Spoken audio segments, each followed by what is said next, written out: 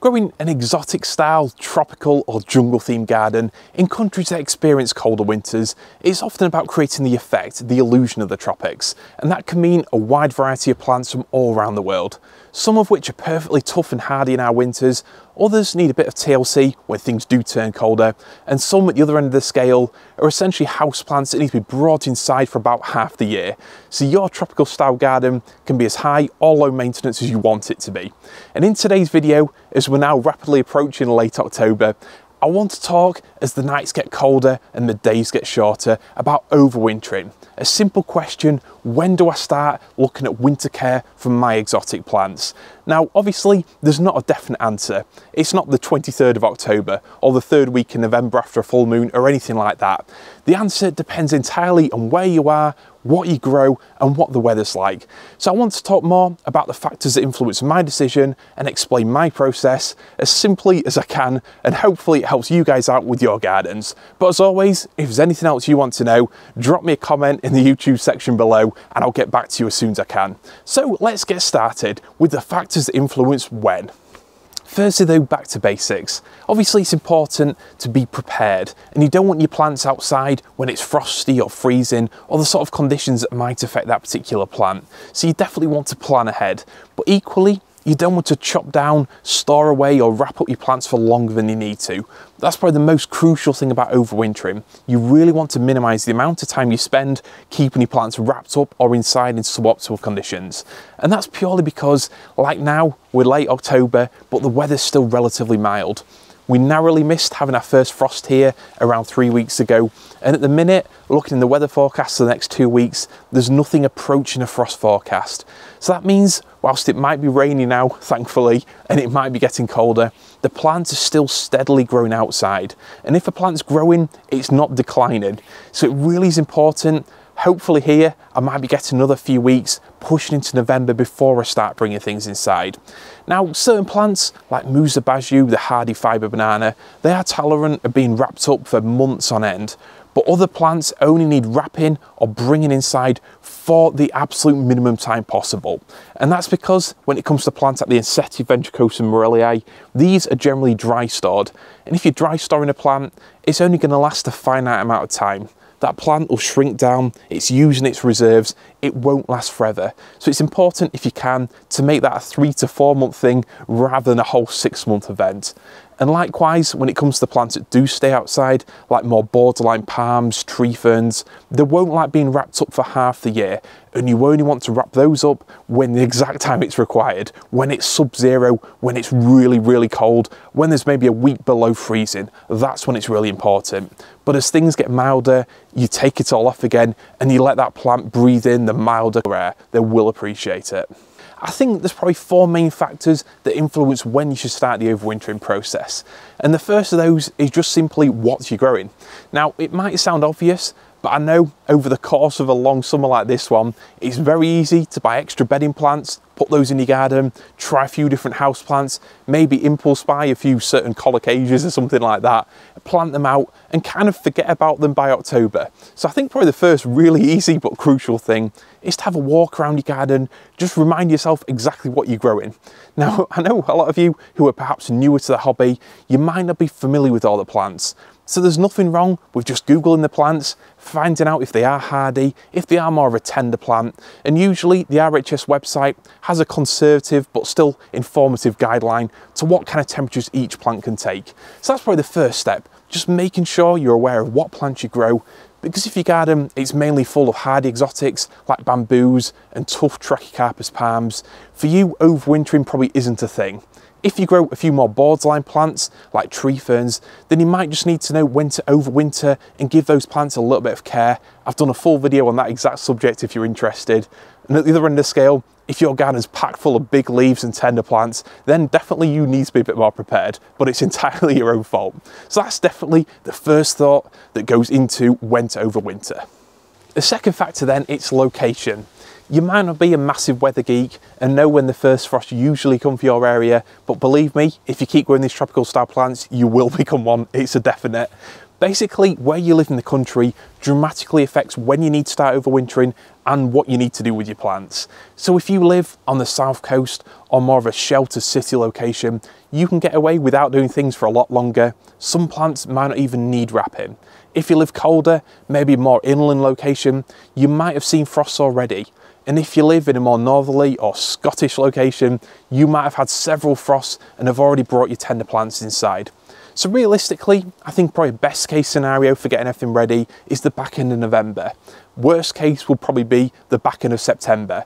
And where you live in the country pretty much decides where you fall on that sort of list. So I think really as a practical step, rather than just following what a TV show, magazine, website, or some over the top YouTuber tells you to do, really factor in where you live. Find out what people do near you. Personally, I join one of the tropical style Facebook groups Find out what experienced people are doing in locations similar to yourself, and that way you're doing things at the optimum time for your garden and your plants, rather than digging things up unnecessarily or having plants filling your kitchen for six months long, the inevitable divorce, mess, and everything that follows. You really want to do things that are right for your location and get away with as little as possible.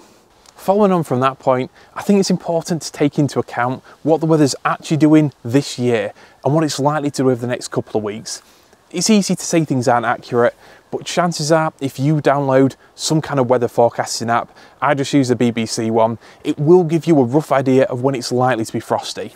If the temperatures are much less than 5 degrees, there could be a frost, and it changes every single year. So rather than just having an arbitrary date, wrapping everything up, bringing everything inside the same day every year, in the spirit of trying to get away with things outside for as long as you possibly can, just keep a rough eye on the weather. Last year, I didn't bring anything in until around the third week of November. So it really does fluctuate every year. And that can have a massive difference on how well your plants overwinter.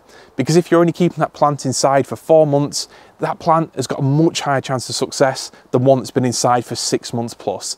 So just really keep an eye on the forecasts, learn when the first frost might be coming up for your area and plan accordingly. Yes, it can be of an educated risk or gamble, however you want to see it, but if there's a chance you can have your plants out for an extra few weeks and push things into November, you should absolutely do it. It really does make a huge difference to the chances of those plants coming through winter.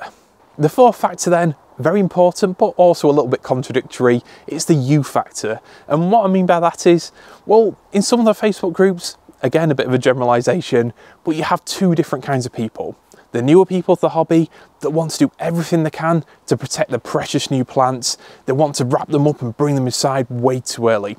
And then you've got the more experienced people who leave things months and months later and maybe don't even protect certain plants. I think the reality is the only thing that makes those people more confident is A, the fact they've actually got away with stuff in previous years, so experience, B, they're more prepared, have the materials and know the methods they're going to use. And C, they're more willing to take an educated risk. And I think really where you fit on that sort of sliding scale depends on the time you have available. If you're someone who works long days, like myself, then very soon we won't be able to do anything in the evenings. The daylight will be gone. So if there's a relatively good weekend in October, if it's not raining, then it's probably best to make the most of that weekend and get all your preparations done. Because yes, I know it goes against what I said. Yes, it's important to minimise overwintering time, but if there's a good weekend that works well for you, plants aren't really going to grow much over the next few weeks anyway. So if that weekend is the best time for you to get things done, get it done then. If, on the other hand, you're someone who doesn't mind going out and taking those extra risks and maybe on a frosty night go outside with a head torch and some horticultural fleece and wrap a load of things up, then by all means you push the boundaries, you really go for things as long as you possibly can. Last year, it was the snow that actually led to me bringing a few plants inside into polytunnel. It's trial and error. You do the best you can for your plants, but make sure that's at the best time for you when you can practically do it. Even for me, that's quite a long intro, but I think the why is so much more important than just the when. Rather than blindly follow what I tell you to do, having the factors that can help you make a more informed decision can help you choose a date that works better for you, your garden and your plants. And I think it's more important than ever in this time of climate change and irregular seasons to not just be prepared for the real challenges that brings, but also be able to take advantage of the opportunities. And if that means autumn's pushing into November, maybe even December, then you've got to take advantage. Because the time that our tropical plants can really thrive outside it is precious and short so you really need to make the most of that possible. And if I can keep my plants outside for another month I certainly will be trying it. But when it comes to an actual concrete when I wanted to break my plants down into three main groups and give you a ballpark idea as to when I bring them inside. First group of plants then, our class as the tender plants. These can be really soft bedding plants like Coleus, which are usually the first plants to show that they're not enjoying the colder temperatures, through to plants like Ensete, which traditionally were thought of as very tender, but can actually take a good bit more cold than you might expect. The plants that come inside, I generally bring these plants in before the first proper frost. I often push things as long as possible. If you want a real sort of set metric, I would say when the nighttime temperatures get close to three or four degrees, it's time to bring these plants in. So if you see temperatures like that coming up for a few nights in a row, it's time the weekend before to get all the plants dug up and brought inside. This can range from some of the more tender succulents and cacti that you grow through to bigger leaf plants that you generally have to grow like house plants, the more tender colocasia, alocasia, through to banana plants like Musa dwarf Cavendish. If you Google these plants, you'll often find that they're classed as tender and can't take less than 10 degrees. That's really not true. They can take significantly under those temperatures, but what they won't like is a frost or temperatures around 5 degrees, daytime temperatures only reaching 10 degrees for a few weeks on end. That's simply too much for them. So yes, you want to keep these plants outside as long as possible, but equally you want to bring them inside before the first real frost for your area. Now, what that means is, generally speaking, anywhere from the end of September, if you live in a really cold area, through to realistically early November, maybe mid-November, if the weather's kind and you live in a more sheltered climate. So that's the rough sort of range, but as a general rule, if a plant's tender, if it needs to come inside, yes, the Ensete are a little bit tougher, but as a general rule, if you bring those plants inside before the first frost, anywhere in October, you should be fine.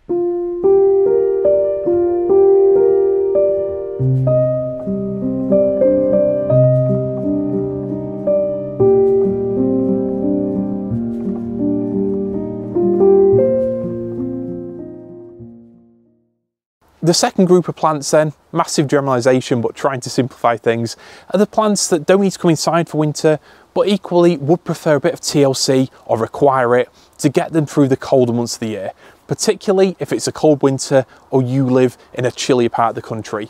So I'm thinking plants that either need to be brought into a polytunnel or greenhouse or wrapped up in situ, but once they're done, they're done. So plants like cannas, dahlias, salvias, in a lot of the country, they are perfectly hardy. In a modern, mild winter, perfectly hardy will come back not a problem at all. But if you live in a colder area or you want to be on the safe side, then I generally dig those up before the first real freeze, before the first hard frost. I don't mind them getting a little bit blackened by the frost. The foliage can take a bit because the tuber, rhizome, or the part of the plant that's under the ground, that can take far more. So I let them get blackened a little bit, but then generally speaking, at some point in November, I make the decision to dig them up, bring them into the polytunnel, wrap them up, do what I'm doing with them. Musa basjoo, it's another plant that I know some of you won't even protect it, you'll say it doesn't need it, but if you live in a colder area, if there is a colder winter, or you just want to keep the height of the pseudostem, then you almost certainly do need to wrap up to allow that. And what you do is essentially just wrap the whole thing up. Like I said, I'll be doing a video about it, but put four canes in, put fleece around it, fill it with straw, something waterproof on top. When do I do that? I'm not worried about frost, but before it starts to get actually freezing, I would wrap it up. So again, maybe some point in November. That's when I do the plants that need some kind of preparation and that's it, they're done. So as a general rule, October for the tender house plants, here, that is anyway, November for the plants that need wrapping up or bringing to polytunnel.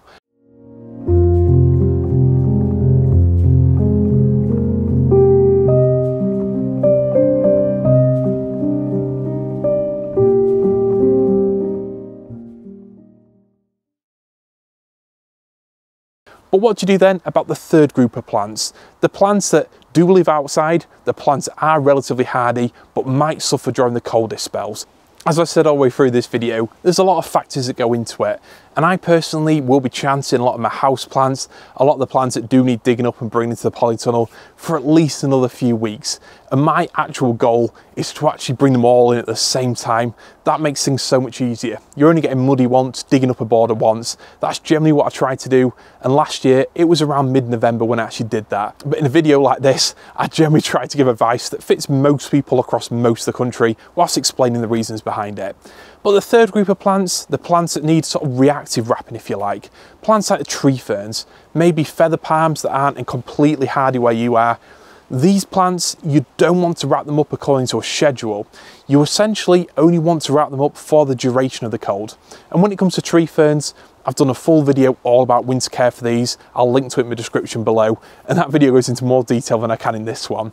But essentially, once you put the straw in the crown to actually protect the most tender part of the plant, I would only wrap that plant when there's a real freeze, when temperatures are likely to be sub-zero for multiple days, when it actually requires wrapping a lot of plants like this or some of the palms especially, they don't appreciate being wrapped for months on end. So that's the main reason why we don't just be really cautious, wrap them up in November and leave them that way till March. You want them to get as much of the fresh air, much of the airflow as possible to prevent rot, or in the case of tree ferns, the other way around, to prevent them drying out over winter. So the reactive plants, the plants that you might read about that need a little bit of care when things do get cold, only give them it when they really need it.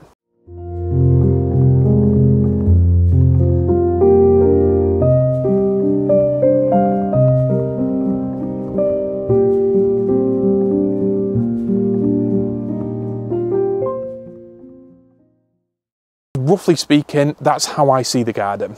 You've got the decorative plants that make up a border, the plants that come outside for summer, and those, the ones that were last to be brought out, are the first ones to come in. The second group of plants are the ones that you know are going to need some element of TLC. And those, it's a case of trying to get away with things for as long as you possibly can. But ultimately, some point in late October or mid to late November, you've got to make that decision, get them wrapped up, bring them to polytunnel. Once it's done, it's done before any serious cold happens. And the third group are the plants that you generally speaking want to get away with without any kind of winter care. But if the temperatures do get cold, you're prepared for it. You've got some fleece on hand, you know what you're going to do, and you're prepared to do it for the shortest amount of time possible. So hopefully that covers most things when I do things here. Ultimately, my goal every year is to basically have one day in November and just let you go around, smash everything in, get it brought inside, job done. I hope this video has helped, but if you've got any more questions, leave me a comment below and I'll try to come back with an informed response based on where you are and what I do myself. Thanks for watching, I'll see you in the next one.